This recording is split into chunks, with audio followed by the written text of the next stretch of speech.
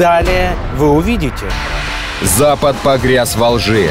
Как наследники палачей пытаются переписать мировую историю. Чтобы уничтожить авторитет России в мире, необходимо для американцев поменять плюсы на минусы, показать, что именно они э, победили в, в Второй мировой войне и всячески замолчать роль Советского Союза. Почему при появлении НЛО у военных отказывает техника? И каков порядок действий при встрече с непознанным?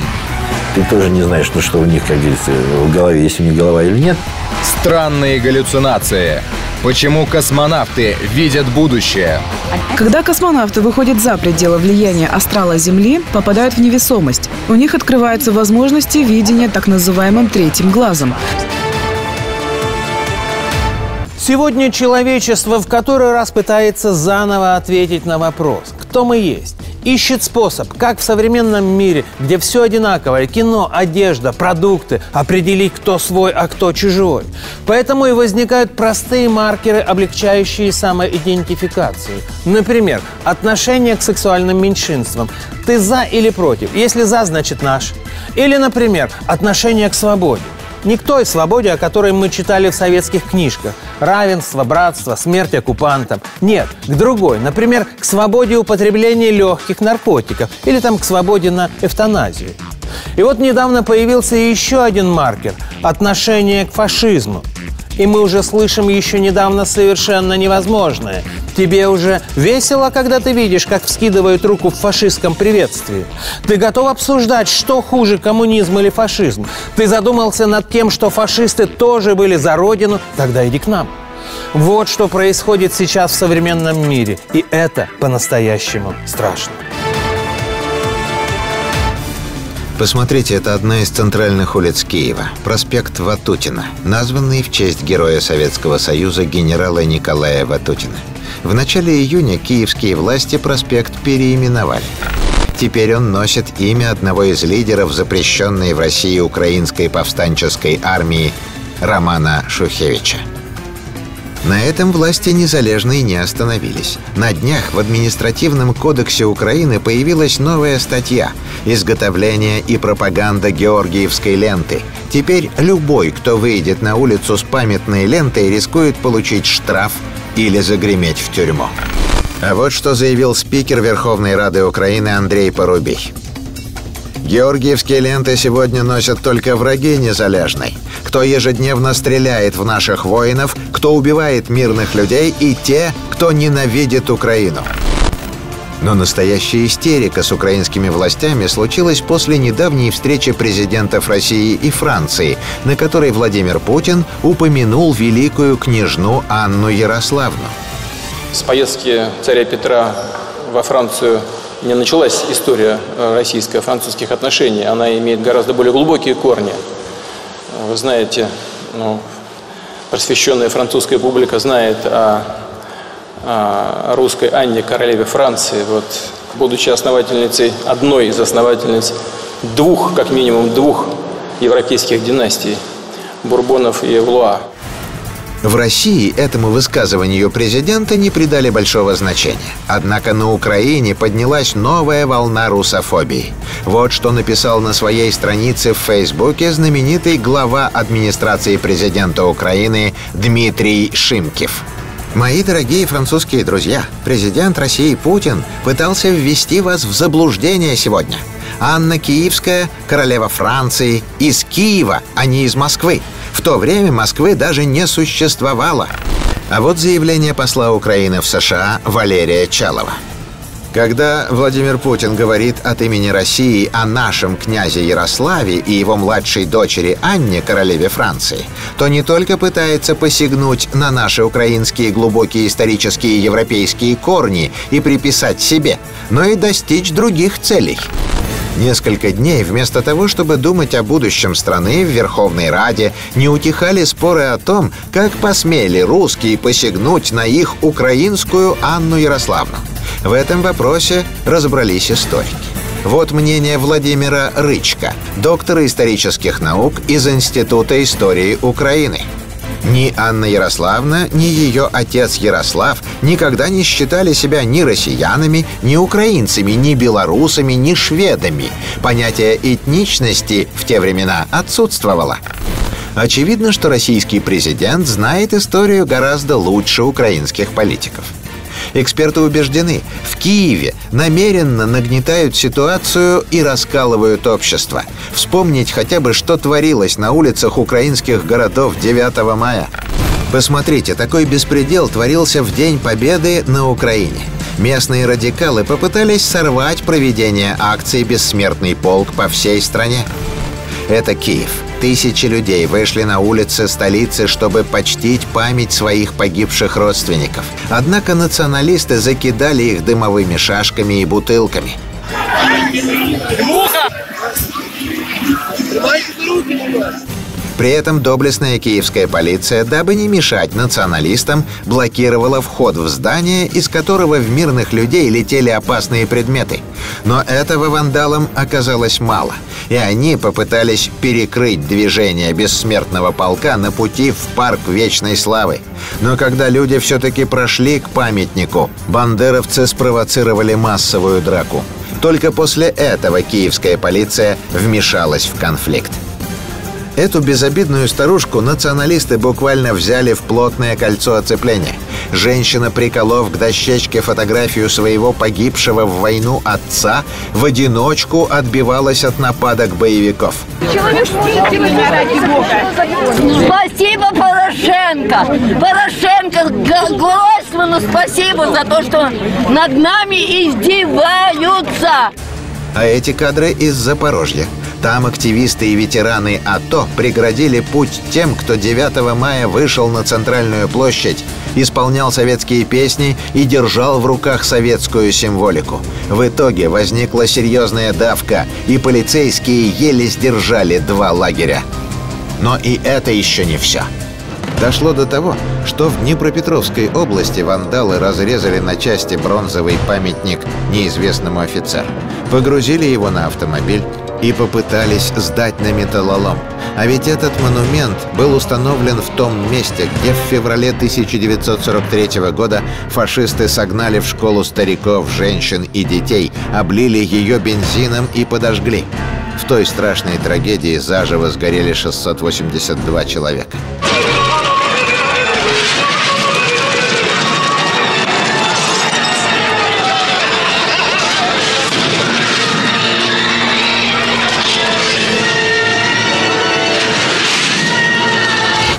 Похоже, у современных украинцев большие проблемы с исторической памятью. Иначе чем еще можно объяснить вот эти кадры? Посмотрите, в Тернополе украинские вандалы разрисовали свастикой памятник жертвам Холокоста. Дикарей, сделавших это, не смутило, что монумент был установлен в память о 100 тысячах евреев, которых в годы войны в Тернополе расстреляли нацисты при помощи так называемой «украинской вспомогательной полиции». Причем атаки вандалов на памятники советским воинам постоянно ведутся и в цивилизованной Европе. Посмотрите, вот так недавно польские борцы с памятниками осквернили мемориальное кладбище советских воинов в Варшаве. Это захоронение считается крупнейшим в стране. Там покоится больше 20 тысяч солдат и офицеров, которые погибли при освобождении Польши от фашистских захватчиков. Неизвестные нарисовали на ступенях главного обелиска свастику и отпечатки стоп красного цвета на фоне государственного флага Израиля. Добрались вандалы и до легендарного памятника Алёша в болгарском городе Пловдив.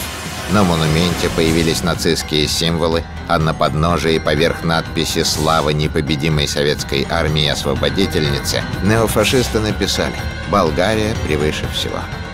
Стоит над горою Алёша, Алёша, Алёша, Стоит над горою Алёша, Болгар русский солдат. Самое удивительное, что все это делается с молчаливого согласия властей Болгарии. В начале 90-х годов Алешу и вовсе хотели снести, ориентируясь на западные ценности – но простые люди, чьи отцы и деды воевали с фашизмом, не дали этого сделать. К тому же памятник Алёша давно стал настоящим символом города Пловдив. Но, похоже, история повторяется. Вот что говорят сами жители. Мое мнение, что будет вообще с советскими памятниками в будущем, как и в Болгарии и в других странах Восточной Европы. Ну, конечно же, их постепенно всех снесут, хотим мы этого или нет, как бы, да. И на это повлиять Россия фактически не может. Сегодня эксперты с сожалением вынуждены признать, своими действиями власти стран Восточной Европы пытаются переписать историю, тиражируя миф о советской оккупации. Русофобия для них стала официальной политикой.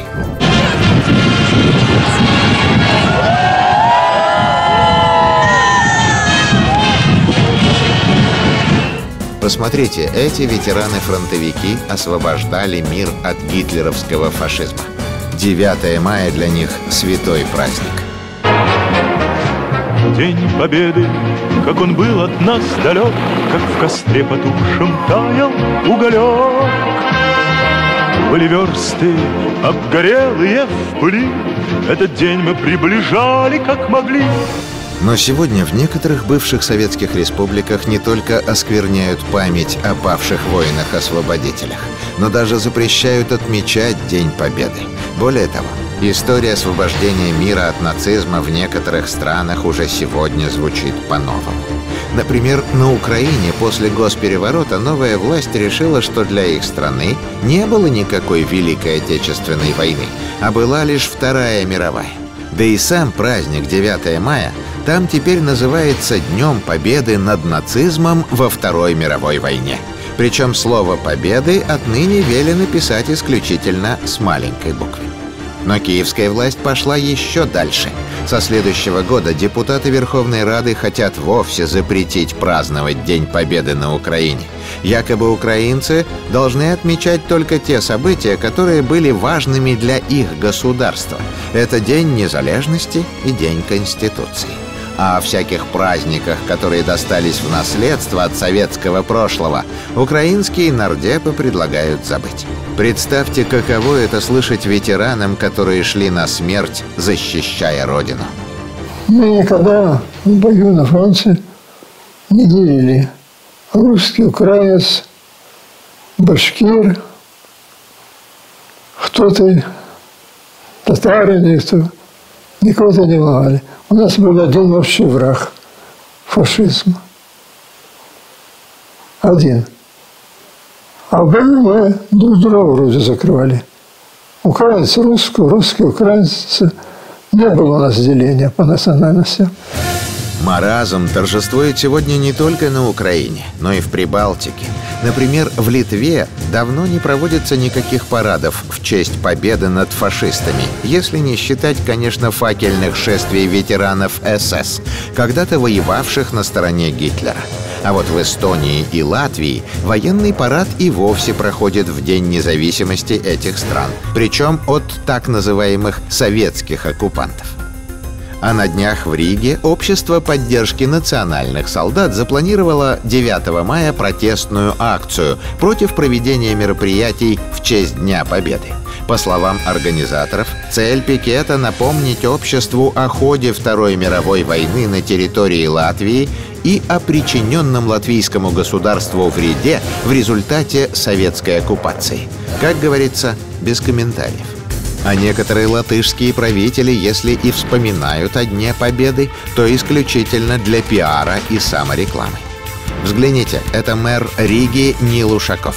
В прошлом году, во время своего выступления 9 мая, он заявил, что День Победы — это не российский и даже не советский, а латвийский праздник.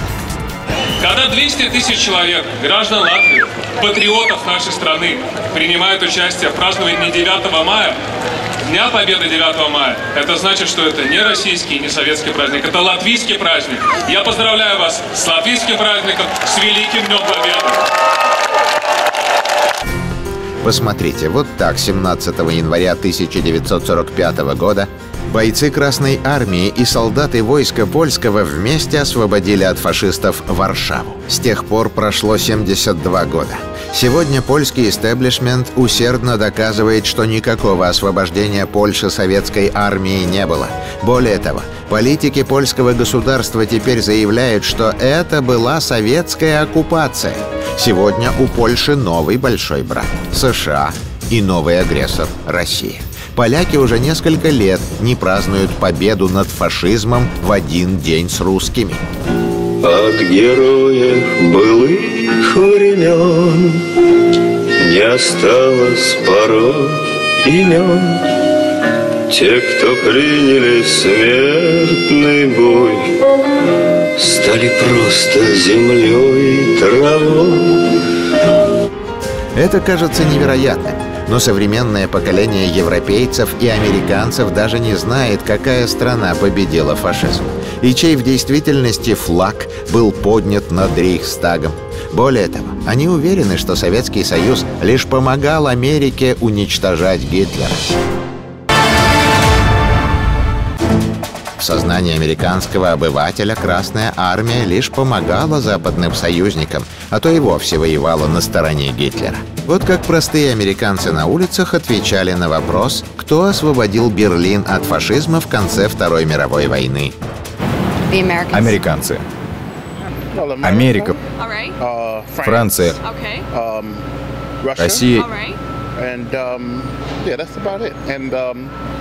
И европейцы. Соединенные Штаты.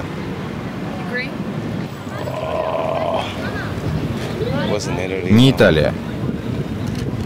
Повтори вопрос еще раз. Кто освободил Берлин от фашизма в конце Второй мировой войны? Соединенные Штаты. Выходит, что США спасли и советский народ от Гитлера. Неудивительно, что некоторые молодые европейцы и вовсе искренне считают, что Советский Союз сам напал на Германию, а японская молодежь, не стесняясь, говорит, что ядерные бомбы на Хиросиму и Нагасаки сбросили вовсе не американские, а советские самолеты. Эксперты говорят, что такое передергивание итогов Второй мировой сложилось благодаря особому преподаванию истории на Западе, антироссийской пропаганде и Голливуду фильмы которого специально возвеличивали подвиги армии США и принижали героизм советских солдат. Громадный авторитет Советского Союза в мире базировался на э, победе над фашизмом, том, что именно Советский Союз внес самый большой вклад в уничтожение фашизма. И чтобы уничтожить этот авторитет, чтобы уничтожить авторитет России в мире, необходимо для американцев поменять плюсы на минусы, показать, что именно они э, победили в Второй мировой войне и всячески замолчать роль Советского Союза. Делается это система единого госэкзамена, э, тестов и так далее, то есть максимально сначала расчищается площадка, то есть создается целое поколение, которое ничего не знает по истории, которое учит историю по рядовому Райану или бесславным ублюдкам. Излюбленный сюжет голливудских псевдоисторических блокбастеров про Вторую мировую войну показывает, как бравые американские вояки гнали немцев через всю Атлантику и Европу и практически в одиночку разгромили гитлеровскую Германию.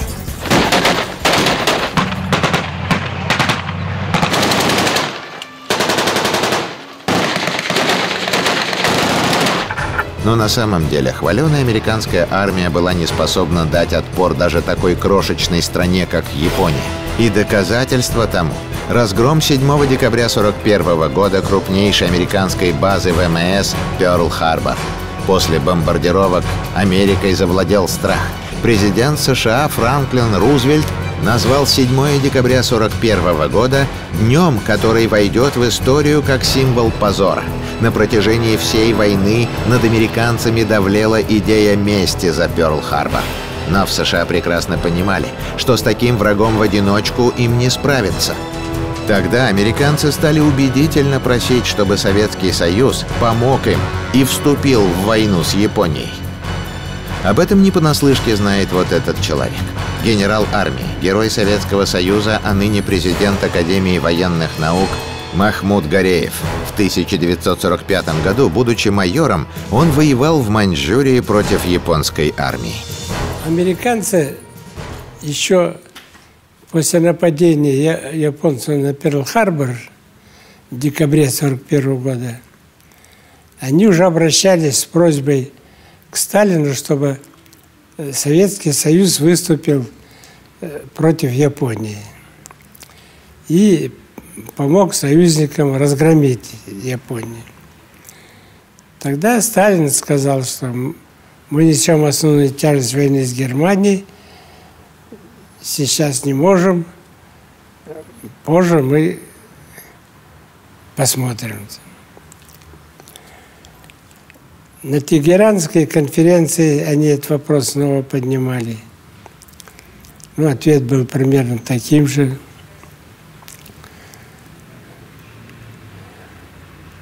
Потом на Ялтинской конференции.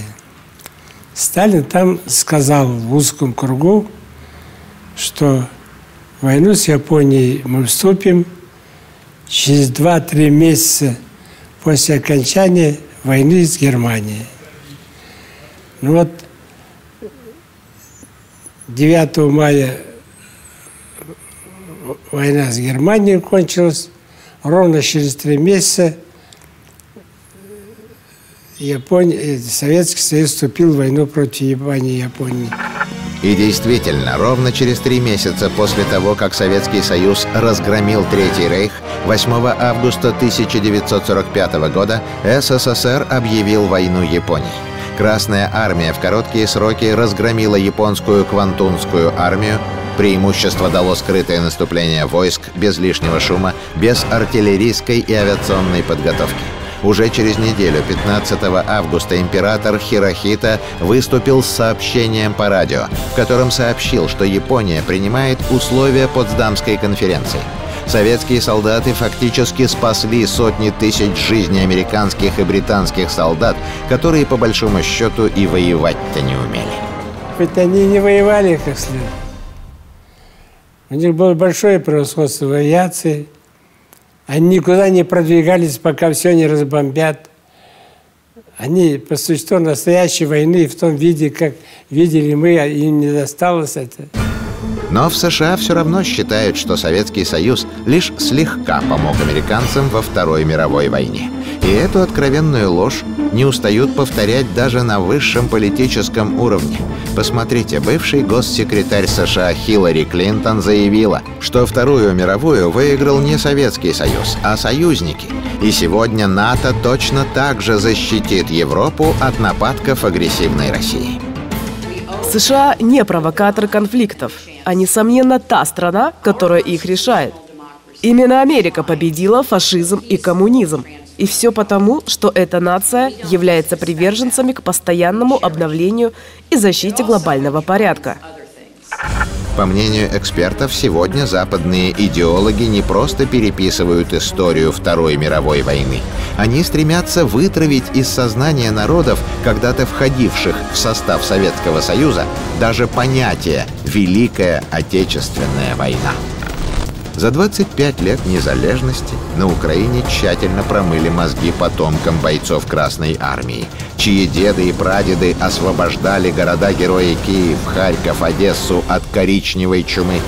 За все время, сколько был на фронте, нас ни разу не снимали на отдых. Вот мы, если мы провели, проучаствовали в какой-то операции, потеряли людей, нас снимают, отправляют на другую. Но по пути, вот то, что мы освобождаем, вот уже занятые немцами области, вот особенно на Украине это было, да, за нами идут полевые военкоматы, подбирают ребят, которые остались еще в 41 году, но уже призывного возраста, они уже к 43 году были, да, их призывают и бросают к нам. Но украинские националисты не хотят знать правдивую историю. Дошло до того, что они стали нападать на ветеранов – Посмотрите, в прошлом году 91-летнего героя Великой Отечественной войны украинские нацисты облили зеленкой на праздновании Дня Победы в Славянске. При этом хулиганы выкрикивали нацистские лозунги «Слава Украине! Героям слава!». Ну, я, я была в зеленке, берет в зеленке был, э, кофточка в зеленке и крас, э, бордового цвета у меня пиджак был тоже побрызган зеленкой. А я, не обращая внимания, иду. Подошла, э, там, где сидят ветераны, все на меня э, глядят. Я думаю, что они поступили по отношению ветеранов Отечественной войны, которые, которые э, защищали Родину, после войны восстанавливали, восстанавливали города завода, отри, от, отрицательно я отношусь к ним. Отрицательно. А это уже Одесса. Посмотрите, во время празднования 73-й годовщины освобождения города от фашизма украинские националисты устроили провокацию. Одесситы собрались на аллее славы, чтобы возложить цветы к памятнику неизвестному матросу. Внезапно появилась группа радикалов из правого сектора, которые стали выкрикивать нацистские лозунги и провоцировать собравшихся.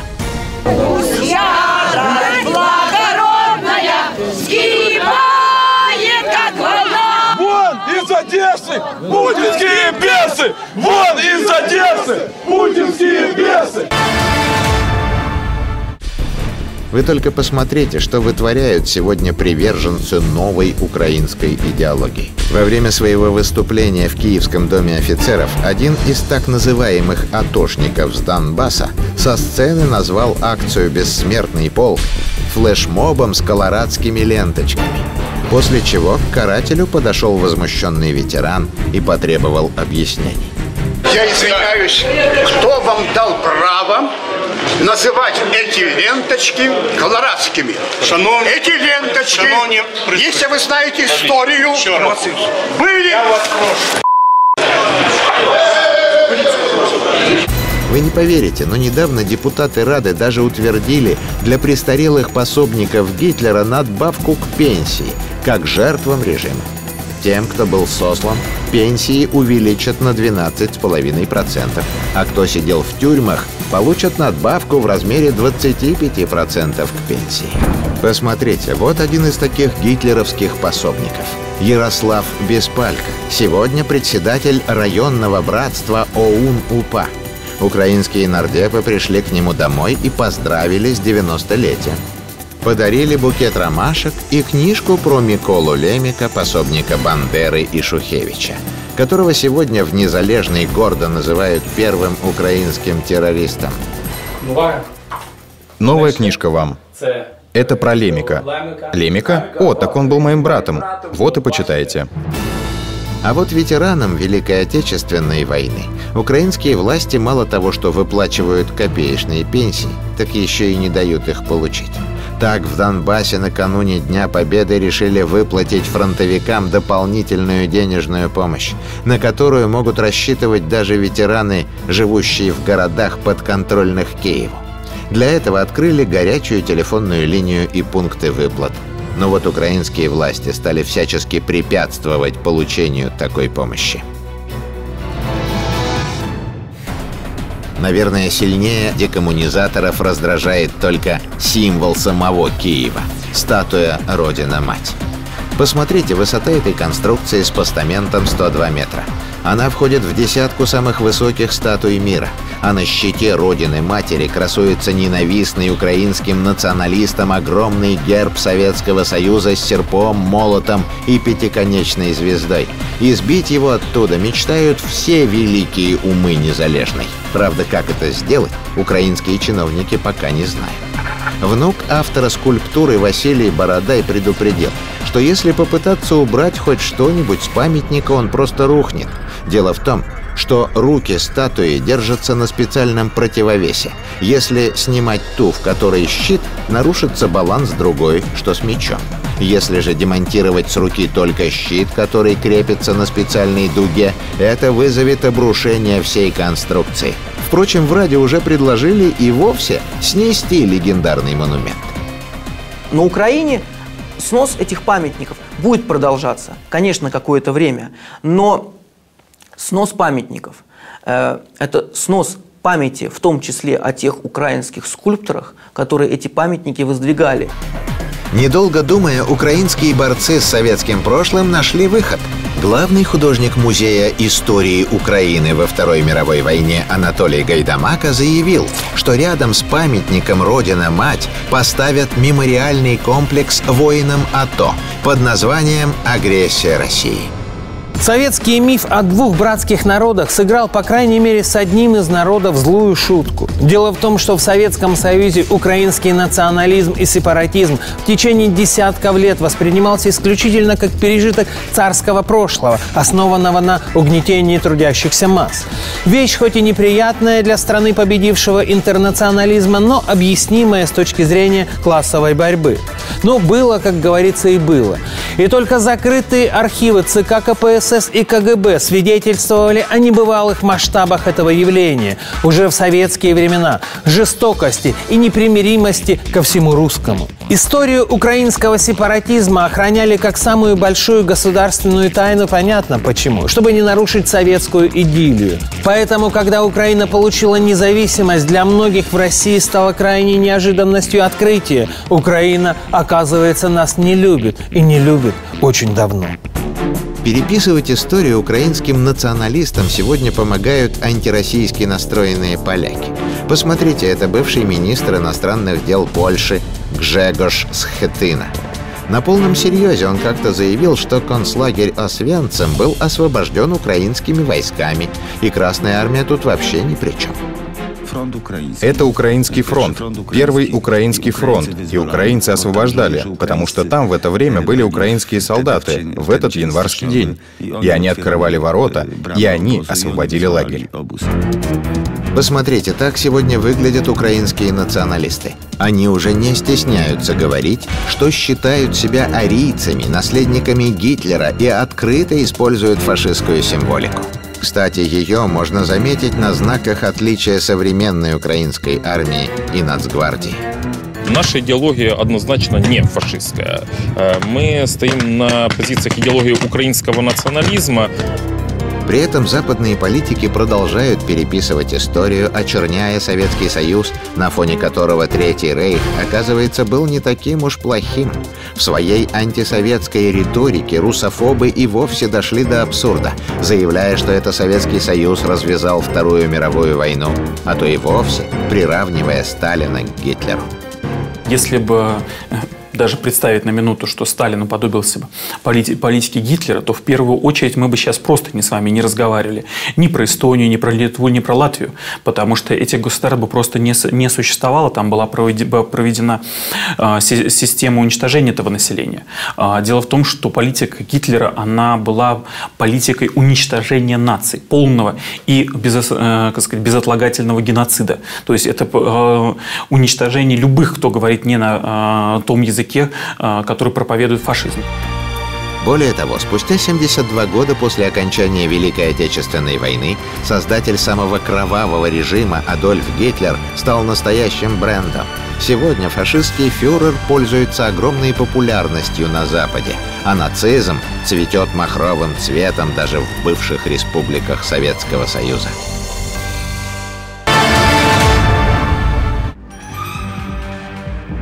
Посмотрите, это маленькая немецкая деревушка Ямель. Здесь одна улица, 37 жителей и всего 10 домов. В семи из которых живут неонацистские семьи. В этой коричневой окраине открыто прославляют главного фашиста. На стенах написана аббревиатура HH, сокращение нацистского приветствия «Хайль Гитлер». А в середине деревушки некогда даже стоял вот такой указатель где было указано расстояние до родного города фюрера Браунау в Австрии. Если у неонацистов и есть дом в этой части северо-западной Германии, то он здесь, населенный пункт Ямель. Крошечное сельское идиллическое место. Только несколько десятков человек проживают здесь. Среди них есть те, кто живет обособленно, являясь приверженцами своих идей. Сегодня вещи Гитлера выставляются на аукционах за баснословные деньги, почти как подлинники картин эпохи Возрождения. Взгляните, этот красный телефон когда-то принадлежал Адольфу Гитлеру. В 1945 году его нашли советские солдаты в бункере немецкого фюрера. А вот недавно аппарат со свастикой и гравировкой «Адольф Гитлер» был продан на американском аукционе за 243 тысячи долларов. Имя покупателя аппарата, по которому последние два года войны фюрер отдавал приказы, осталось неизвестным. По словам экспертов, такой ажиотажный спрос на личные вещи главарей нацизма можно объяснить растущей популярностью их идей в Европе и США. Фашизм, он жив, он есть. Он, э, на мой взгляд, развивается. Э, и более того, я убежден, что если в ближайшие годы, в течение пяти лет, э, в европейских странах не придут к власти национально ориентированные политические лидеры, политические силы, а там останутся вот эти вот американские марионетки, дегенеративные политики, которые сейчас управляют Европой, э, и будут проводить вот эту вот политику, которую они сейчас проводят, э, политика открытых дверей для, дверей для иммиграции там, и так далее, и так далее, э, и политика, политика развращения нравственного собственной молодежи, вот это все в итоге, в итоге приведет к фашизму. Потому что бороться с такими явлениями, как бороться, иного опыта у европейцев нет, кроме как фашизм. Посмотрите, так сегодня выглядит могила Зои Космодемьянской. Той самой девушки-партизана, которая во время битвы под Москвой сумела проникнуть в тыл к фашистам, поджечь несколько домов с конюшнями и вывести из строя их узел связи. Но фашисты сумели выследить Зою. Взбешенные постоянными диверсиями, они попытались узнать у нее, сколько еще партизан действует в районе деревни. Космодемьянская молчала. Утром 29 ноября 41 года ее повесили. Партизаны помогали очень много. Русский дух, как говорится, силен. Его невозможно победить невозможно. Был союз очень крепкий, сколько национальностей. И вот в канун 75-летия той трагической даты либеральный карикатурист Андрей Бельжо, находясь в Италии, назвал Зою Космодемьянскую «сумасшедшей». Дескать, он лично читал ее дело и видел там диагноз «шизофрения». На самом деле, очерняя подвиг девушки, русофоб Бельжо просто попытался выслужиться перед украинской властью. У него был бизнес-интерес. Вы не знаете разве У него заведение в Киеве, у которого заканчивалась лицензия на алкоголь. Лицензию продлевать не хотели, потому что в Киеве не любят все русское. Они же Бельжот ассоциируют-то понятно с чем. А как можно э, пробить ее? Показать себя русофобом. Тогда ты становишься первым другом для всей украинской политической элиты. Что он с блеском и сделал? У Бельжо больше нет никаких проблем с бизнесом. Все. А то, что, извините, он оскорбил миллионы людей, ему глубоко наплевать. Посмотрите, на этих архивных кадрах младший лейтенант Виктор Талалихин. Этому герою Советского Союза было всего 23 года. Летом 41 года небо Москвы от фашистских бомбардировщиков защищали зенитчики и летчики-истребители. В ночь на 8 августа 41 года Виктор Талалихин взлетел с полевого аэродрома.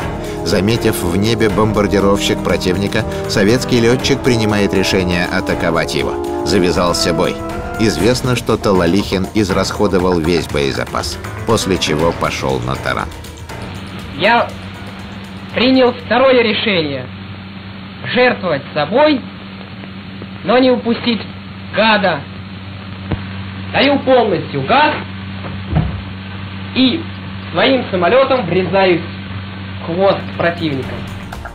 Пилот немецкого Хейнкеля-111 попытался остановить нашего летчика пулеметным огнем и даже серьезно ранил. Но Талалихин все-таки сумел сбить немецкую машину, направив в нее свой истребитель. После столкновения самолет Виктора перевернуло, но он смог выпрыгнуть из него с парашютом. Ни в чем не уступали защитникам и советские женщины. На равных с мужчинами отважно сражались женщины-летчики, женщины-танкисты и даже женщины-снайперы. Посмотрите, эта молодая женщина внушала врагам леденящий страх. О ее подвигах ходили легенды.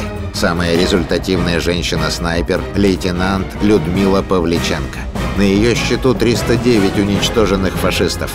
В дуэль с Павличенко вступали 36 подготовленных гитлеровских снайперов.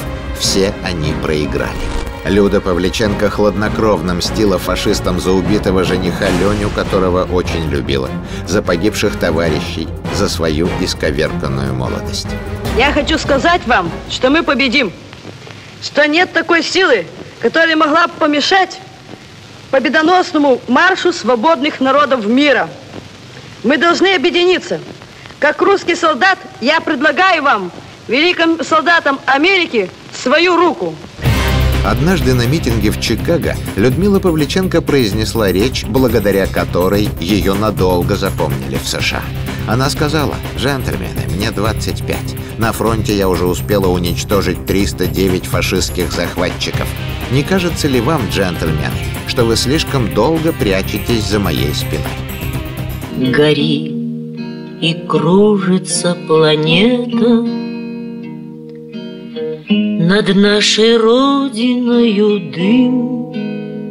И значит нам нужна одна победа. Одна на всех мы за ценой не постоим Одна на всех мы за ценой не постоим Но кто стоит за этим шабашем? Кто вкладывает деньги в учебники истории, в которых фальсификаторы уравняли жертву Советский Союз и захватчика гитлеровскую Германию, напавшую на нашу страну? И на чьи деньги издаются псевдоисторические публикации, где советских солдат называют отнюдь не освободителями стран Восточной Европы, а оккупантами и насильниками? Посмотрите, этот человек американский миллиардер Джордж Сорос – без его участия за последние четверть века не прошла ни одна цветная революция. В 90-е годы фонд Сороса активно работал в Новой России. Именно при финансовых вливаниях этого щедрого господина издавались школьные учебники по истории нашей страны. В те годы фонд Сороса чудесным образом сросся со структурами Министерства образования и Министерства культуры нашей страны. То есть вроде бы с виду это а, хорошая а, миссия по а, продвижению образования, но за этой хорошей этикеткой стоят настоящие планы. Возьмите, например, а, учебник Редера, который активно продвигался Соросом на территории а, России, в котором, а, например, битве Ромеля в Африке уделялся целый, целый параграф, а Сталинграду всего один абзац. Хотя именно Сталинград произвел коренной перелом в Великой Отечественной войне. В ноябре 2015 года Генпрокуратура России запретила деятельность фонда Сороса в нашей стране. Теперь дядюшка Джордж не то что учебники, программки издавать не сможет. А вот в демократичной Европе любые санкции против американского миллиардера часто выливаются в массовые протесты на улицах. Посмотрите, в столице Венгрии десятки тысяч человек протестовали против угрозы закрытия частного Центральноевропейского университета, основанного миллиардером Соросом. По разным данным, на улице Будапешта вышло от 60 до 80 тысяч человек. Это была самая массовая манифестация за последние несколько лет. Пусть образование будет свободным, и мысли пусть будут свободными. Венгрия пусть будет свободной. Митингующие говорили на чистом английском о нарушении всевозможных свобод после того, как премьер-министр Венгрии Виктор Орбан принял закон, согласно которому университет Сороса больше не может работать на территории Венгрии, а потому должен быть закрыт. Кроме этого, Орбан заявил, что структуры американского миллиардера нагло вмешиваются во внутренние дела республики и через образовательные программы пытаются влиять на общественное мнение. За это премьер Венгрии и получил акции протеста у себя под окнами. Ни для кого не секрет, кем они были проплачены. Сорос, и не только Сорос, десятки, сотни, э, тысячи э, так называемых неправительственных организаций, которые существуют на гранты, получаемые от Соединенных Штатов Америки, от целого ряда европейских структур, и действуют в сфере образования по всему миру – их деятельность направлена именно на создание э, того пласта знаний, который утвердил бы получившего этот пласт знаний молодого человека, убедил бы его в том, что лидер мирового исторического процесса – Соединенные Штаты. Хотя что уж говорить о Соросе, когда один из ярчайших представителей нации победителей спонсировал фашистов. Вы не ослышались. Семейство Бушей спонсировало Гитлера. Правда, этот факт по понятным причинам усердно замалчивается. Американская администрация рассекретила архивные документы, в которых говорилось, что дед бывшего президента США Джорджа Буша-младшего, Прескотт Буш, незадолго до начала Второй мировой войны финансово поддерживал Адольфа Гитлера. Буши, они э, герман, из германских кровей, они э, германского происхождения, а немцы практически во всем мире, за исключением немцев Советского Союза, поддерживали политику Гитлера, поддерживали Гитлера как национального лидера и э, всячески содействовали тому, чтобы он значит, реализовал свою э, программу, свою политику. Историческая ложь сегодня стала частью политики многих стран Запада. Чревата такая фальсификация трагическими последствиями для целых стран. Как было когда-то сказано, народ, забывший свою историю, обречен повторить ее вновь. Поклонимся великим тем годам, славным командирам и бойцам, И маршалам страны, и рядовым. Поклонимся и мертвым, и живым, всем тем,